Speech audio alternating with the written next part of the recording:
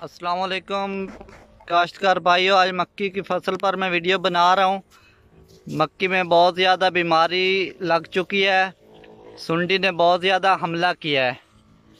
आप मेरे बैकग्राउंड पर देख रहे हैं कि एक भाई स्प्रे कर रहा है सुंडी को कंट्रोल करने के लिए।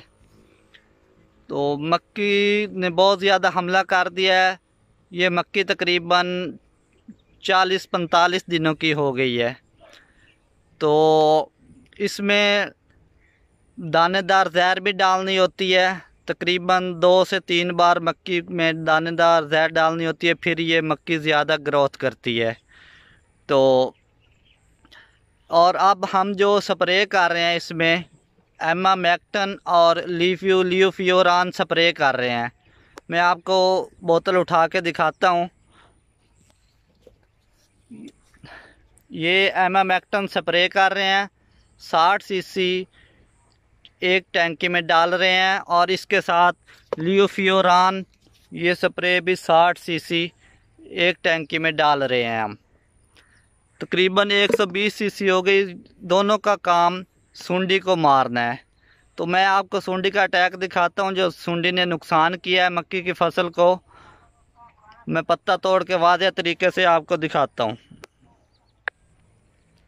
ये देखें, काश्तकार भाइयों, मक्की ने किस तरह नुकसान किया है, पत्ते को किस तरह खाया है।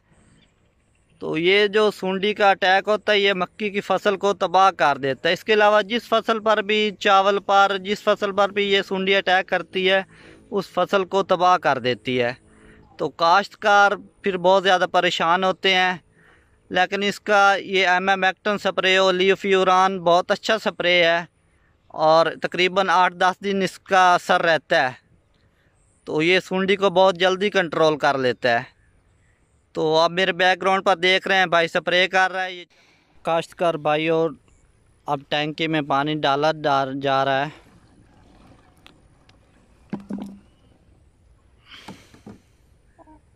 और अब टैंकी में स्प्रे वाली टैंकी में दवाई की मकदार को माप कर टैंकी में डाला जाएगा। ये तकरीबन साठ सीसी का पैमाना है। ये साठ सीसी लियोफ्यूरान डाल दिया है। अब साठ सीसी एम एम एक्टन डालेंगे।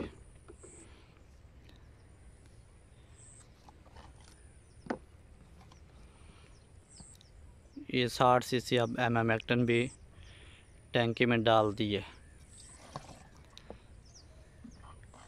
दोस्तों ये चार्जिंग वाली स्प्रे टैंकी है बिजली पर ये चार्ज होती है। इसका बहुत ज़्यादा फ़ायदा ये है कि स्प्रे करने वाला भाई को थकावट नहीं होती। की बोला अच्छा। ಪತ್ನಿ ವಕೀಲ್ ಕಡೆಯಿಂದ ಮತ್ತೆ ಹೆಕ್ಕಿಲ್ಲೇನು ಕೀತಾಯ್ ಒಂದು ಐ ಸೈ ಒಂದು ಸ್ವಲ್ಪ ಮತ್ತೆ